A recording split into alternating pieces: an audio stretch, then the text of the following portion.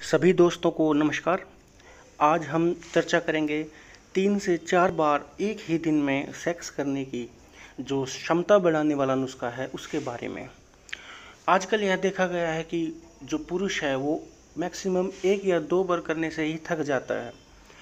ज़्यादातर इरेक्टाइल डाइसफंक्शन जिससे बीच में ही लिंग का खड़ा न रहना या ज़्यादा देर तक न खड़ा रहना, यह समस्याएँ अक्सर ज़्यादा देखी गई हैं। खान पान का जीवन बिल्कुल अस्त व्यस्त होने की वजह से लिंग में कड़ाई नहीं रहती। तो बिल्कुल एक साधारण और एक घरेलू नुस्खा जो बहुत ही ज़्यादा कारगर है और सिर्फ़ एक ही महीने में आप खुद रिज़ल्ट देखेंगे, उसी के बारे में चर्चा करेंगे। तो ज़्यादा बात न करते हुए सबसे पहले हम एक मुट्ठी बिल्कुल अच्छे क्वालिटी के गेहूँ को ले लेंगे, उसका आटा ले लेंगे। और उसको आधा लीटर गर्म दूध में, एक आधा लीटर का दूध हमें एक बर्तन में डाल देना उसको गर्म करना है, फिर उसके अंदर एक मुट्ठी गेहूँ का जो आटा है वो हमें डाल देना है।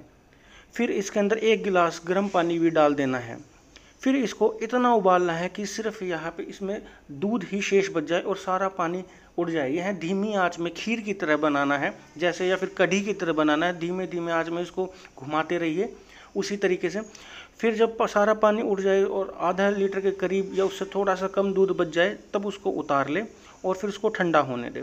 उसका ठंडा होने के बाद उसमें एक चम्मच घी, एक चम्मच देसी खांड और दो चम्मच शहद मिला लें और इसको अच्छे से मिलाकर इसको रात में सेवन कर सकते हैं। इसका डेली डाइट बना सकते हैं। इसको खाने के बाद भूख नहीं लगेगी। यह एक अच्छा डिनर हो सकता है आपके लिए। ध्यान देने वाली बात यह है, घी और शहद की मात्रा एक न करें। अगर घी एक चम्मच ले रहे हैं तो शहद दो चम्मच होना चाहिए, दोनों एक चम्मच नहीं होने चाहिए। और इसको ठंडा होने के बाद ही शहद मिलाएँ। गर्म चीज़ में शहद नहीं मिलाना चाहिए, क्योंकि शहद की तासीर बदल जाती है, वो जहर टाइप सा बन जाता है। यह नुस्खा करने के बाद आप देखेंगे कि आपके अंदर शारीरिक तो बल आएगा ही आएगा, आपके वीर्य की वृद्धि इतनी ज़्यादा हो जाएगी।